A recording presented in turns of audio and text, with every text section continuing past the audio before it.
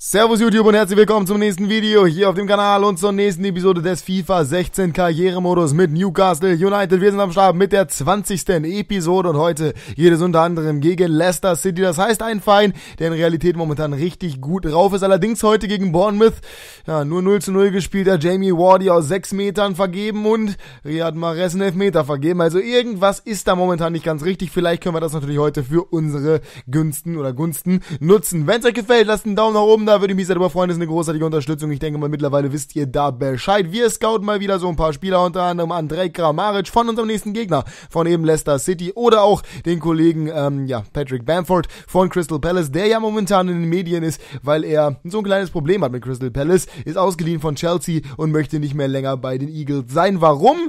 Kann ich in gewisser Weise nachvollziehen, aber darum geht es jetzt nicht, denn wir ja, machen jetzt einen kleinen Schritt nach vorne und zwar in die Bundesliga. Da haben wir unter anderem Maximilian Philipp, den ich aus irgendwelchen Gründen gescoutet habe, genauso wie Daniel Opares, Sven Ulreich, Simon Terodde und so weiter und so fort. Das alles sind keine Positionen, auf denen wir wirklich Bedarf haben, aber wir können natürlich trotzdem gucken und das machen wir immer mal wieder. Ich denke mal, ihr wisst mittlerweile Bescheid. Da habe ich richtig, richtig Lust dran, beziehungsweise Spaß dran, mir andauernd irgendwelche Spieler zu suchen, die mir gefallen und einen davon, da bin ich mir relativ sicher, dass der im Winter kommen wird. Wer das ist, sage ich euch nicht. Übrigens nicht im Winter, sondern im Sommer. Nur bei uns ist Winter, auch wenn es keine niedrigen Temperaturen sind. Wir machen unsere Startaufstellung für das Spiel gegen Leicester und äh, wir sind noch nicht ganz fertig, denn wir haben noch fünf Tage bis zum Spiel. Dementsprechend ist es sinnlos, momentan die Aufstellung zu machen mit den Spielern, die nicht ganz fit sind. Wir haben hier noch ein paar ja, Spieler dazu bekommen, unter anderem den Kollegen ähm, ja, Ola John, den wir aber genauso löschen wie den ganzen Rest. Sebastian Pocognoli, ehemaliger Hannoveraner, den löschen wir nicht. Aber ansonsten gucken wir uns nur so ein bisschen was an. Alex Tejes zum Beispiel, Gilberto, dann haben wir Ricardo Saponara unter anderem. Also wir haben wirklich interessante Spieler Spieler auch Nolan Roux, der eventuell gerade, weil er in der ähm, ja, französischen Liga spielt und Franzose ist, von Saint-Etienne interessant ist. Aber ob da irgendwas passiert im Winter, naja, wir werden sehen. Was mit Mitrovic noch wird, Batshuayi ist auf jeden Warum eigentlich im Winter, im Sommer? Was mit Mitrovic noch wird, Batshuayi ist momentan unsere Granate und äh, als Auswechselspieler reicht definitiv. Mitrovic, der wird heute wieder Auswechselspieler spielen. Perez auf der 10 hinter Batshuayi. Ich wünsche euch viel Spaß und bis gleich.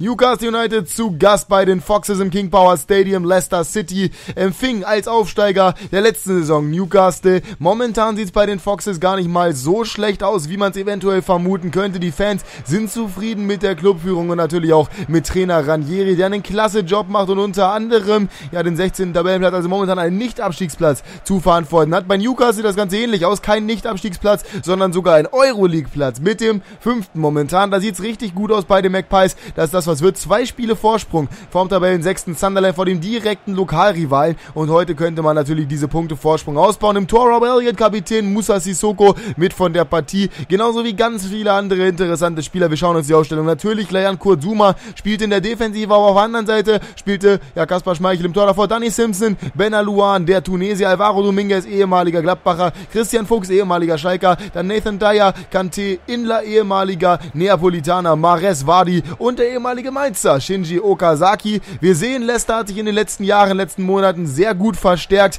und dementsprechend können sie natürlich gegenhalten. Gegen Rob Elliott, Dix, Mbemba, Zuma und Haidara. Ja, Janmat saß heute nur in der Reserve bzw. auf dem Publikumsplatz. Sissoko, Can und Perez im Mittelfeld. Perez natürlich weiter vorgezogen und vorne wie immer die offensive Dreierreihe, die ehemalige League 1 Triple-Reihe. Ja, mit Florian Thauvin, mit Michi Batshuayi und mit Paul George. Und im letzten Spiel hatte Michi Batshuayi drei Tore erzielt, einen Hattrick gemacht gemacht in den letzten drei Spielen.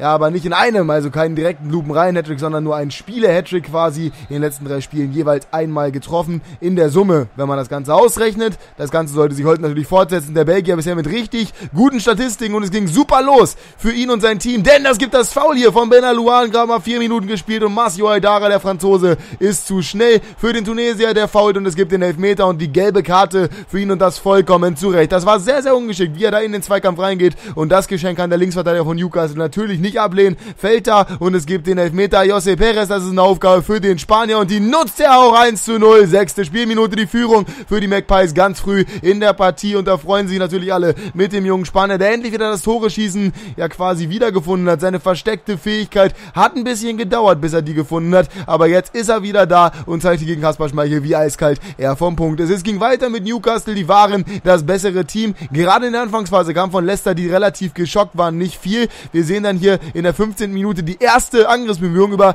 Inler und in der Mitte so ein bisschen Heckmeck. Im Endeffekt ist dann aber Elliott da und hält diesen Ball sicher fest. Newcastle in der Offensive nach 20 Minuten wieder aktiv. Emre Can mit dem Ball auf Paul George und tappt der Ball in die Mitte. Batshuayi, so schnell kann das gehen. 2 zu 0. Auf der einen Seite ist Heckmeck im 16er, auf der anderen Seite ist gar nichts los im 16er, an der Defensivreihe zumindest. Und Batshuayi macht sein viertes Tor im vierten Spiel hintereinander. Das war wunderbar schnell gespielt. Emre Can auf dem Tap, der ist nicht wirklich gedeckt. Ben Aluan passt da nicht auf. In der Mitte ist Batshuayi vollkommen frei. Und dann kann auch Schmeichel nichts mehr machen und der Belgier trifft. Newcastle machte weiter. Wieder Batshuayi, der versucht es aus allen Lagen, allerdings hier abgeblockt von der Defensive der Foxes. Es wurde trotzdem immer gefährlicher, denn ja, Newcastle hörte nicht auf. Ein Tap mit der Flanke, da ist Batshuayi, der köpft ganz knapp vorbei, kurz vor der Halbzeit. Es sieht alles andere als gut aus momentan für die Foxes und es ging genauso weiter. Ball auf Florian Thorvaux und der macht das Traumtor. Allerdings aus der Abseitsposition der Franzose. Ja, dessen Treffer zählt hier nicht. Kaspar Schmeichel im Glück zur Halbzeit wechselte dann Leicester City aus. Jamie Wardy ging raus. Dafür kam Leonardo Ulloa in die Partie. Eventuell noch mal ein bisschen mehr Offensivpower. Vielleicht hatte Ranieri ja noch irgendeine Idee, wie es nach vorne gehen sollte. Allerdings spielte weiter nur Newcastle. Wir sehen den Ball auf Ayose Perez. Wir sind in der 63. Minute, aber der Abschluss ist zu schwach und kein Problem für Kaspar Schmeichel. Die Foxes auf der anderen Seite dann mit sehr viel Glück, denn hier der Abwurf von ja, eben mal wieder Rob Elliott. Und die Kontergelegenheit, das ist Jean Gouffran mittlerweile eingewechselt für Florian Thauvin. Und die Flanke ist alles andere als schlecht in die Mitte. Allerdings, ja, dann wieder Glück dabei. Und Paul George und Tap Schuss im Endeffekt abgeblockt. Schmeichel macht das dann sicher. Noch mehr Glück gab es ein paar Minuten später. Das ist Riyad Mahrez, das ist Dix. Und Ball geht über die Latte. Da ist nämlich der Rechtsverteidiger der Magpies nicht mehr ganz da gewesen. James auf Mares, auf Dyer. Der Kopfball ist nicht gefährlich. Aber was macht Dyer denn jetzt? Er behindert Rob Elliott und macht das 2 zu 1. Plötzlich der Anschlusstreffer. Hätte niemals zählen dürfen. Dyer behindert den Torwart, den Iren, beim Abschlag. Normalerweise ein klarer Regelverstoß des englischen Jungnationalspielers, ehemaligen Jungnationalspielers. Aber so zählt der Treffer. Und Newcastle muss nochmal zittern? Fragezeichen. Nein, denn sie kommen zurück. Das ist Mitrovic eingewechselt, haut drauf und macht das 3 zu 1. 90. Minute in der Nachspielzeit. Die endgültige Entscheidung. Der alte Abstand wiederhergestellt und das King Power Stadium natürlich ernüchtert. Wunderbar gemacht vom Serben, der sich hier klasse durchsetzt gegen die Verteidigung und wieder Kaspar Speichel keine Chance lässt. Also, nach einem 1 zu 2, das niemals fallen darf, kann Newcastle sich direkt berappeln und macht das 3 zu 1. Also, drei Offensivspieler treffen heute Perez, eigentlich Stürmer, momentan auf der 10. Natürlich auch Batshuayi und sogar der Serbe, sogar Mitrovic kann einen Treffer für sich erzielen. Dementsprechend gewinnt Newcastle verdient mit 3 zu 1 bei den Foxes, die nur mit sehr viel Glück ihr Tor erzielten. Eigentlich waren sie die komplette Partie über die schwächere Mannschaft. Newcastle deutlich besser in der Offensive mit vielen Chancen. Die haben sie nicht alle genutzt, aber immerhin drei. Und das reicht dann eben auch für die drei Punkte. Es sieht sehr gut aus, denn somit haben sie jetzt vier Vorsprung vor Sunderland und immer noch ein Spiel weniger. Das heißt, auch dank Batshuayi können sie die Führung immer weiter ausbauen. Es sieht gut aus für Europa, es sieht gut aus für Newcastle. Leicester bleibt weiter 16. 16. und spielt im Endeffekt 1 zu 3 zu Hause im King Power Stadium gegen den Tabellenfünften, gegen die Magpies. Das war schön, das war wunderbar, doch ich frag mich ganz ehrlich, warum macht das Spiel so eine Scheiße? Ich weiß nicht, warum das ähm, kein Foul war. Dagegen, ähm, ja, also von Dyer gegen Elliott. In meinen Augen eine ganz klare Situation. Er wird beim Abschlag gehindert, darf eigentlich nicht, darf eigentlich nicht passieren. Und vor allem war das, es war ja auch nicht irgendwie nur, dass er den Ball gespielt hat, sondern er hat ja auch den Keeper berührt. Also das, keine Ahnung. Schreibt mal eure Meinung in die Kommentare. War das ein Foulspiel war das kein Foulspiel? Hätte das abgepfiffen werden müssen? Ich bin mal gespannt, was ihr da so zu sagt. Wir spielen jetzt nächstes auf jeden Fall gegen Norwich City, das heißt diesmal gegen einen richtigen Aufsteiger, nicht nur gegen einen, der sich gerade so in der Liga gehalten hat. Wir scouten vorher ein paar Spieler, unter anderem Erik Bortea. Wer kennt den eventuell aus der Direct-Episode, der hebt mal bitte den Arm und lässt einen Daumen nach oben. Da würde ich mich super freuen. Wir haben noch andere Scout-Berichte, die abgeschlossen sind, unter anderem zum ehemaligen 96er Mamjouf. Wir haben ja nicht nur Pokonjoli als ehemaligen 96er gescoutet, sondern auch den senegalesischen Stürmer und der sieht eigentlich echt stark aus. 88 Kopfballpräzision, 82 Abschluss, aber ist keiner, den wir wirklich brauchen. Es wäre eine Pace-Suche, so gesehen können wir den gebrauchen. Wäre ein großer Bulliger. Wir brauchen eher einen kleinen Techniker und damit Perez eigentlich ein, der notfallsweise für Mitrovic noch einspringen könnte. Also eigentlich in der Sturmspitze Gerade auch mit Armstrong als kleinen, schnellen, wendigen Spieler sind wir gut aufgestellt. Da brauchen wir nichts machen. Da können wir sogar verkaufen mit Mitrovic eventuell. Müssen wir schauen, was da so passiert. Vielleicht auch mal 10 nachbessern. Meint ihr, wir brauchen einen neuen Regisseur? Meint ihr, da können wir eventuell den Thorvand hinstellen? Oder meint ihr eventuell, da können wir irgendeinen anderen holen, der Reynaldo noch ein bisschen Druck macht, beziehungsweise als Ersatzspieler fungieren kann? Vielleicht wäre es ja, wie wäre es mit Agi Mastur? Also wäre zumindest eine Möglichkeit. Natürlich haben wir da mit Mirallas auf den Außenposition, beziehungsweise wen hatte ich denn noch in der Verlosung drin? Irgendwen hatte ich noch, den ich ganz gerne haben wollte. Ich bin mir gerade gar nicht sicher, wer das war. Ähm, ich glaube Hamuma, ne? Was Hamuma? Hamuma und Miralla sind ja eigentlich meine Transferziele, gerade für die Außen, aber ich glaube, Hamuma kann auch auf 10 spielen. Also irgendwas finden wir da schon. Bin ich mir relativ sicher. Vielleicht äh, ja auch irgendwas, was euch gefällt. Ich hoffe es zumindest. Schreibt mal gerne in die Kommentare, was ihr von Hamuma und Mirallas haltet. Wir spielen jetzt gegen Norwich City. Ich wünsche euch viel Spaß. Bis gleich. Das Duell der Vögel, die Magpies, zu Gast bei den Canaries. Newcastle war zu Gast an der Carroll Road bei Norwich City. Und man hatte in der letzten Partie genau das machen können auf Seiten von Trainer MGT, was man sich erhofft hatte. Man konnte den Vorsprung sowohl auf die Tottenham Hotspurs als auch auf den direkten Lokalrivalen AFC Sunderland auf vier bzw. sieben Punkte aufbauen. Das Ganze sehen wir hier in der Tabelle. Der 13. Norwich City hat ein bisschen mehr Probleme momentan auf Tabellenplatz 13, eben ganz knapp vor den Abstiegsrängen. Da könnte noch einiges passieren. Ob das der Fall ist, werden wir sehen. Heute erstmal war es wichtig, dass die Canaries irgendwie zumindest einen Punkt mitnehmen, denn das gegen die momentan sehr formstarken Männer aus Newcastle aus dem Nordosten Englands ist eine sehr, sehr schwierige Aufgabe. Spieler im Fokus, Giorgino Wijnaldum gerade wieder fit geworden, 22 Einsätze bisher, vier Tore in dieser Saison. Ein sehr wichtiger Spieler, der den Männern von Newcastle als Kapitän heute auf dem Rasen stand. Warum das der Fall war, sehen wir gleich. Wir gucken uns zunächst einmal die Ausstellung von Norwich an. Ruddy im Tor davor Whittaker, Mark Williams, ein ehemaliger Magpie, dann Russell Martin und Mark Olson, Mulumbu Junusovic, Bennett und Jarvis zusammen mit Wes Hula Hulahan im Mittelfeld und vorne in der Sturmspitze Gio Mbokani, der ehemalige Mann vom RSC Anderlecht, sehr gefährlicher Stürmer vorne drin, der Kongolese, hat bereits sieben Saisontore auf seinem Konto. Auf einer Seite Elliot im Kasten davor, Dariama Charles Mbemba, ehemaliger, Chancellor Mbemba, Entschuldigung, ehemaliger Spieler von Anderlecht, also das Duell der beiden ehemaligen Belgier. Pogba damit ausnahmsweise mal dabei, Wijnaldum im Mittelfeld zusammen mit Anita de Jong, Armstrong, Mitrovic in der Sturmspitze und Rolando Aarons. Das heißt, die absolute B11 bei Newcastle aufgestellt. Nach den anstrengenden letzten Wochen musste das mal wieder sein. Wir sehen es daran, was damit spielt.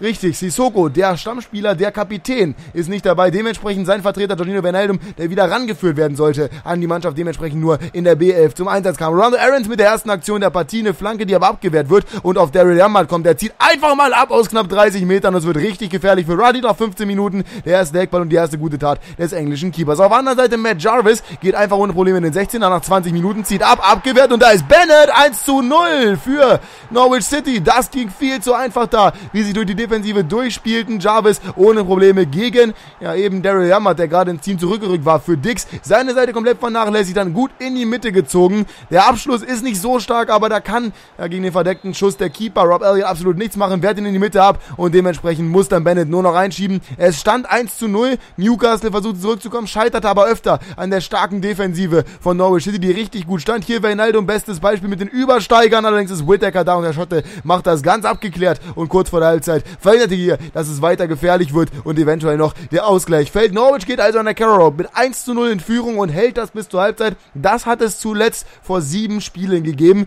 Eine ordentliche Bilanz. Der Torschütze war übrigens nicht Bennett, sondern Wes Hulahan. Ich entschuldige mich für diesen, ja, Versprechen für dieses Vertun. Allerdings ist es nicht wichtig, denn es machte weiter Norwich City das Spiel. Es war nicht die einzige Aktion in der Offensive. Die spielten richtig, richtig guten Fußball. Hier der Ball allerdings rausgeklärt. Erstmal von Rob Elliott und der Konter eingeleitet für die Magpies. Das ist Joan Gouffra heute auf der linken Seite beheimatet, setzt sich da durch gegen Williamson, macht das wunderbar. Allerdings wird das Ganze abgepfiffen, keiner weiß warum.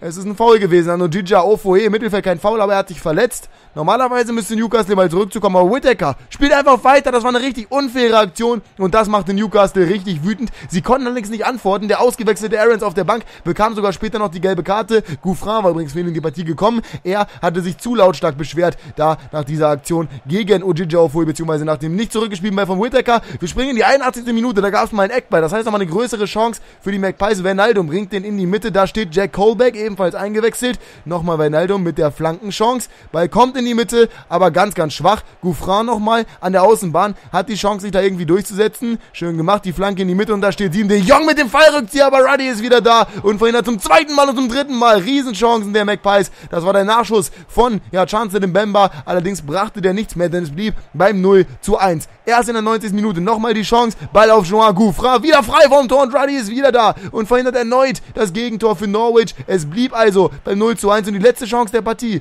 die hatten die Canaries. Das ist der Ball nochmal auf Hosen, das ist der Ball auf Matt Jarvis und eine wunderbare Parade von Rob Elliott, der verhindert hier in der letzten Aktion der Partie gerade noch das 0 zu 2. Es macht aber nichts mehr, denn tatsächlich, die Canaries holen nicht nur einen Punkt, nein, sie holen drei Punkte gegen die Magpies, der Tabellen 13. stürzt den Tabellen 5. aus seiner Siegesserie und das durch das Tor von Wes Hulahan. Insgesamt hatte Norwich gerade mal zwei Torchancen.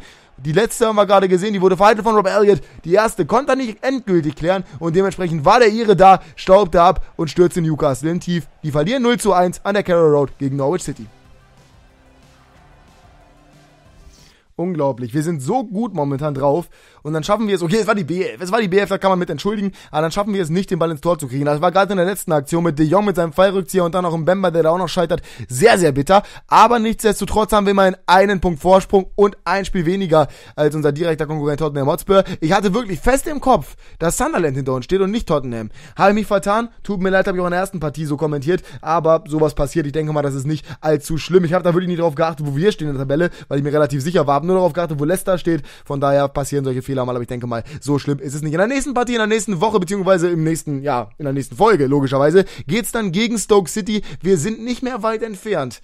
Ja, vom Ende der Saison. Das heißt, es sind die entscheidenden ja, Phasen, beziehungsweise die entscheidenden Schritte, die wir noch gehen müssen. Unter anderem auch im Training. Wir sehen hier Michi Batshuayi, genauso wie Aarons und Pavon mit okay Ergebnissen, Bemba mit einem guten und ja, Perez mit einem D. Kann auch mal passieren. Ist in Ordnung. In der nächsten Episode muss ein bisschen was besser werden, zumindest was beispielsweise Aarons angeht. Ich weiß nicht, was mit dem los ist momentan. Hat am Anfang der Saison sehr, sehr gut gespielt, wurde dann so ein bisschen abgelöst, gerade auch von Paul George und Depp und seitdem ist da irgendwie nichts mehr los bei unserem Nachwuchsspieler. Da muss was passieren. Mal sehen, was mit dem machen. Vielleicht verleihen wir ihn, schreibt es mal in die Kommentare. Was meint ihr? Soll man den Jamaikaner Amerikaner verleihen oder soll man behalten? Wir sehen uns beim nächsten Mal wieder. Ich hoffe, euch hat gefallen. Wenn ja, lasst einen Daumen nach oben da und ich wünsche euch natürlich noch einen wunderschönen Tag. Bis dann. Haut rein und ciao. Dann haut rein und ciao. Dann haut rein.